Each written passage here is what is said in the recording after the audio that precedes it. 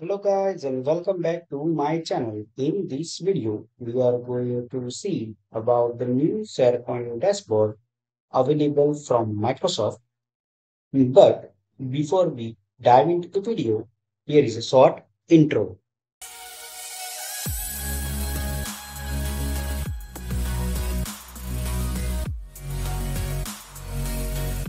So right now, Microsoft out the new SharePoint dashboard in everyone's tenant.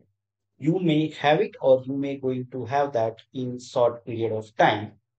This Microsoft SharePoint dashboard is going to be available in your any of the sites that could be a team site or a communication site.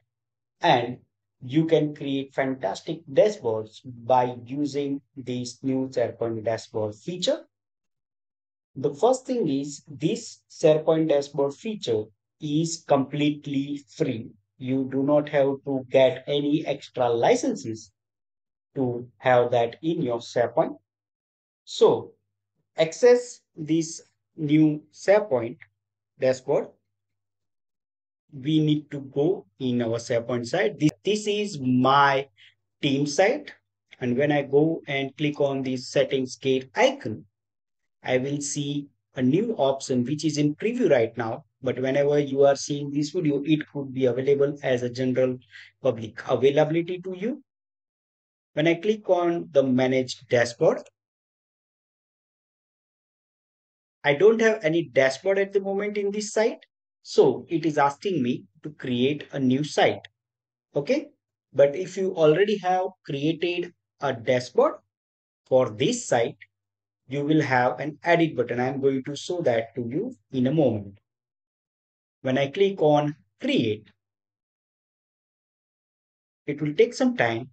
In the backend, it will go and scaffold some of the pages. For example, if you go and check this URL, you will see one new page, dashboard.aspx has been created. If you have ever worked with Viva, you also know that that page is also called as dashboard.aspx. Okay. So when we creating the dashboard for the first time, we see this type of UI where you will see a button called add card. You will see a gear icon for dashboard details. A preview button. If you add some cards on the page, you will see this preview button. to preview it, how it will look when you add them onto the page, right? And the different options are available. So when I go and click on the add card, the most of the options you see in here are familiar with you if you are working with SharePoint. For example, these events, people, quick links, right? Web links, all of these are standard SharePoint features, but there are some other features or other web parts are also available. For example, this card designer, folder, my sites, events, etc. So let me try to go and add one of the web part. Basically, these are cards. These are bit different when you are working with the SharePoint SPFX web part development and with the SharePoint dashboard. So the card is different in terms of when you are saying in terms of Viva connection, you consider them as card, but when you work with SharePoint, you consider them as an SPFX web parts. Okay, so let me try to add an events web part or events card in here. So whatever events I'm having in this site are going to be displayed. For example, I have one event that is starting from August 27 till September 4th. And today is 21st of May 2025. So that's why it's available to me in here. If I want to go and edit this card, I can simply click on this edit icon and then I can change all of these properties of this card. For example, instead of events, I want to call it as my events. The size of the card, for example, if I want to show it as a large card or I want to show it as a medium card, so the size has been changed as you, as you see. Let me take it with large. The source of the event, so it says like choose events to display from different SharePoint site. If I want to display it from this site, then it's coming from this site If I want to select this site collection, let's say there are multiple sites and subsites and all that stuff. So if I want to combine all of them, I can use this site collection option. if I go and check all sites, then whatever sites I am having will be displayed, will get the events from and will be displayed. For now, I am just selecting this site. If I want to have some categories, if there are any categories, those are going to be uh, added. Or if I want to filter based on some of the categories, I can do that. If I want to change a date range for this, for example, this week event I want to show, next two weeks events I want to show in this card or something like that. So I can do that. And the most important thing is audience targeting. So all of these cards are audience targeted. So if the if you add some of the persons, a uh, person or a group for whom you want to show this card, but other person or other other group should not see that card, you can make that audience targeting, right? So when I go and hover on this, it says select audience target to target this card too. So if I select someone, this card is displayed only to that. Okay. So yeah, that's it. Let me just close it. So now my card name is my event. Let me try to add another card. That is, let's say I'm going to add my sites. So this card will have, let's say all the sites which are where I am belonging to in terms of site owner or any other site related permissions I am having. So those sites are going to be listed down here. So as you can see, the my site is there explore sites you visit and follow if i go and edit this card i can change this card's image this nicely looking card image right? I can also change size of the card let's say large image or or a medium size of the uh, card right? Same here we are having the audience targeting and can change the title for us. Let me try to add one more card. That is let's say folder. So when I click on this choose folder, choose uh, folder, uh, it, it asking me what should be my title. I'm just saying it folder. And according to the name, it will go and auto select the icon. Or if I can go and add my own icon if I want, right? Or if I want a library. So this is a library icon. Okay. The same way, I can also select the card size. Let's say I'm also selecting a large for that. Okay. So as you can see, all the three cards are large size. So the fourth one will be added at bottom, not at the top. And as in source for this particular library, I want that data to be coming up from my this site. Okay, and which and uh, and uh, whatever data I'm having in this site or the documents is going to be loaded into that. If I want to sort these particular documents based on different type of uh, uh, sorting criteria, for example, by date modified, A to Z, Z A, I can also do that. Okay. The next card, let me try to add is, yeah, this one, card design. So a card designer card is basically provide you a detail to customize the cards that can be configured to display dynamic and people-centric information right? For example, holiday calendars or whatever we want to do into that particular card. So basically, this is card design that we generally use whenever we are working with any of the adaptive cards, right? So here is a link to that adaptivecard.io, that exact adaptive card generator designer uh, site, which we all know, right? For now, it's just having this simple label and everything. If I want to change something, let's say I want to remove the image and heading something like that. Whatever I want to do, I can just go and do that. If I want to change the icon, I can simply select any of the library icons, what I want. If I want to change the name, anything else, I can also do that. Right? And this is how my card will look. So the next step is, so now as you see, I have added these four cards. One is for my events, another is for my sites, one is for folder, and one is for card designer. If you want to add one more card, let me go and add this people card.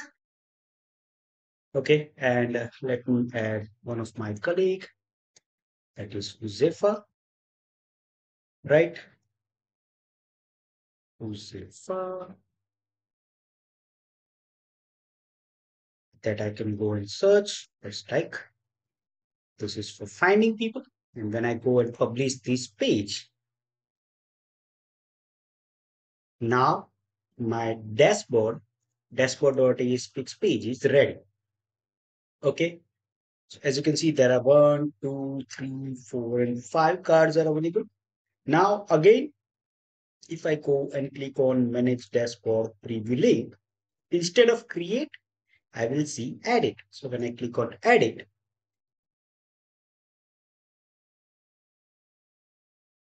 my dashboard is available for edit one time. If I want to go and change the dashboard related details, like if I want to change thumbnail for this, for example, let me go and select any of the available stock images. For example, let's select this one and insert. Right, this is first dashboard for this site.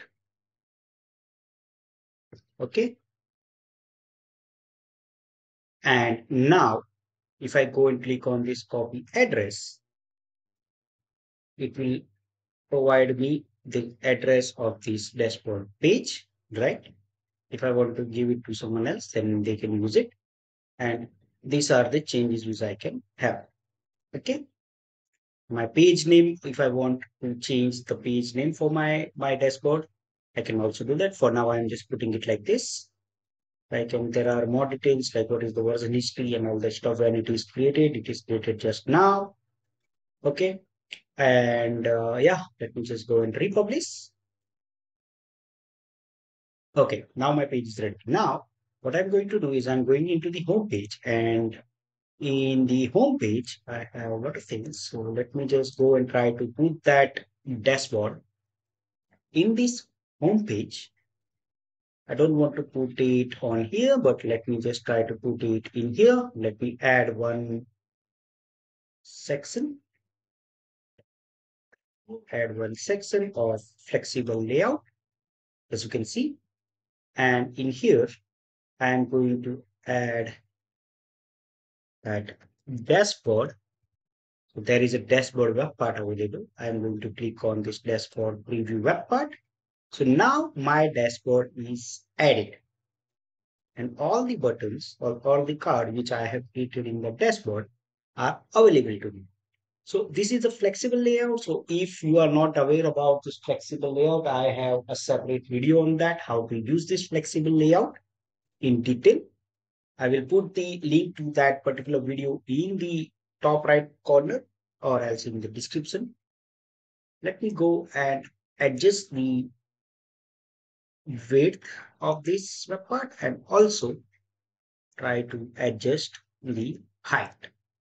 Okay, so if I go and set it as like this, right, and uh, this is too large, I'm going to change the height of this flexible layout, flexible section actually, to like um, this.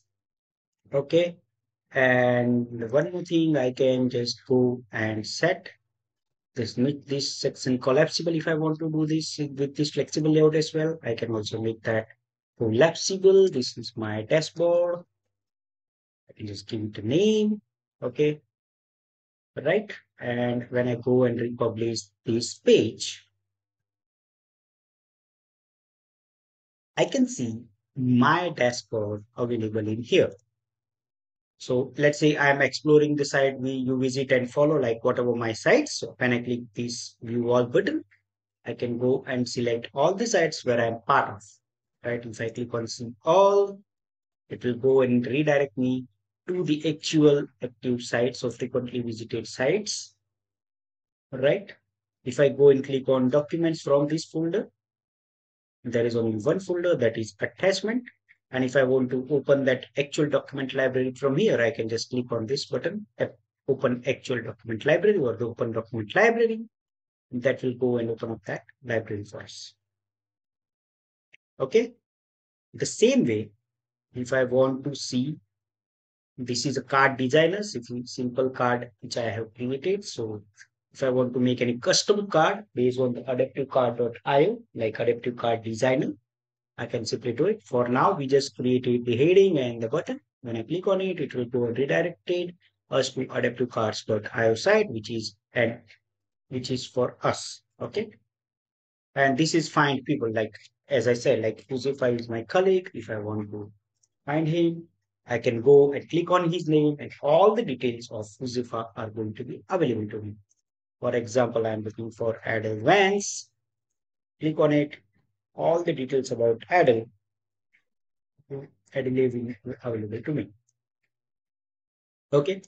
The only thing is this particular dashboard is available per site and it is available in communication site as well as in the uh, team sites.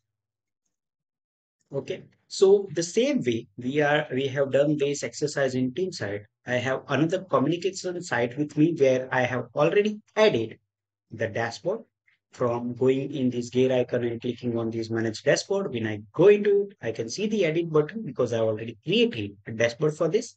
And you can see the three uh, three cards like my sites, folder, and the card designer I have in here. When I click on the documents to view the documents in that same way, I'm seeing all the folders in it, right? And when I click on explore sites, I see all those sites which are available. Okay. So yes, this is a very quick introduction about this new SharePoint dashboard uh, page or dashboard thing which is available by Microsoft. This is still in preview, but I'm not sure when you see this video that could be available to you as a general availability. If you like this video, then please like, share and subscribe to my channel and press the bell icon to get the latest notification whenever I am uploading a new video. Thank you for watching and see you in the next video.